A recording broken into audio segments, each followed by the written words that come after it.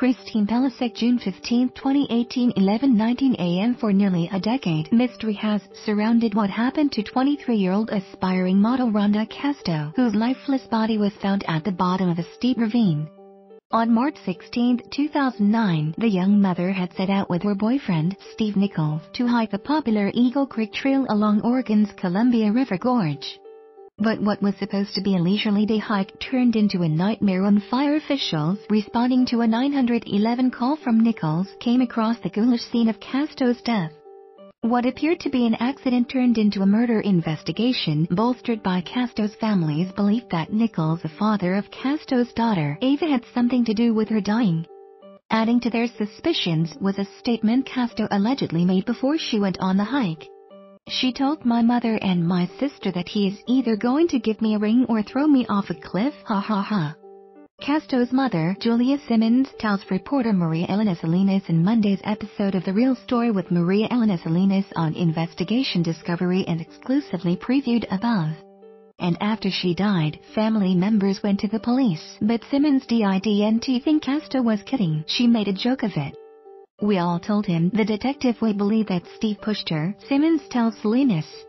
This is not an accident. Simmons says authorities were very interested in what the family had to say.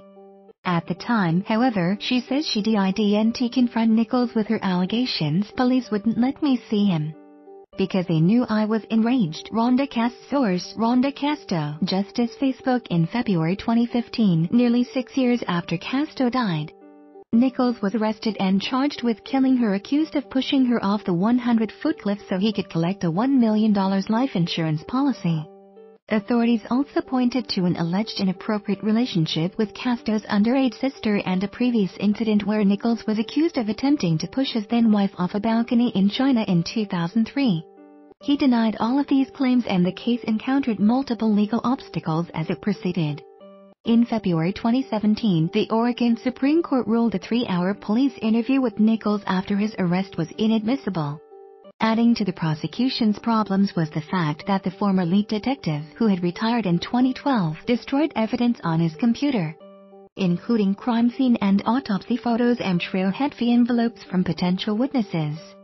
Want to keep up with the latest crime coverage? Click here to get breaking crime news, ongoing trial coverage, and details of intriguing unsolved cases in the True Crime newsletter. In May 2017, in a move that angered Casto's family, prosecutors dropped the murder charge against Nichols. In return, he pleaded guilty to criminally negligent homicide and coercion. According to his plea, Nichols received three years of probation with credit for 19 months of jail time. Nichols still maintains he had nothing to do with Casto's death. When confronted by Salinas about her alleged prophetic words to her family, he responded, The simple answer is I don't think she ever actually said that. She was so happy. Nichols told people in a previous interview about the day the couple went for a hike. Steve Nichols Northern Oregon Regional Correctional Facilities APDO Nichols said he didn't remember much about what happened. He did recall Casto running along the narrow trail with a towel over her shoulders like Superwoman and he said he witnessed her fall. He tried to help her, he said sliding down the ravine and trying to swim across a freezing creek to get to her. However, by the time he reached her body, he said he collapsed on top of her from exhaustion and hypothermia. Nichols said he believes prescription drugs played a part in Casto's death, which he called an accident, and he claimed he later discovered she was using marijuana and also taking medication to lose weight and for depression. But Simmons doesn't buy Nichols' story and described her daughter's relationship with him as volatile, though he said they hardly ever fought. Simmons says Casto was considering ending things with him before she died. She was going to move out but she was trying to get up the courage to do it, Simmons previously told People. She was worried about not having enough money to support Ava. The Real Story with Maria Elena Salinas airs Monday 10 p.m. You may like it on Investigation Discovery.